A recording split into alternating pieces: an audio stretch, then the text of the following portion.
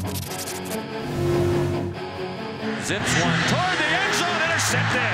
Matthias Farley snagged the ball that was underthrown. Here is the onside kick try. That's Matthias Farley who wasted no time.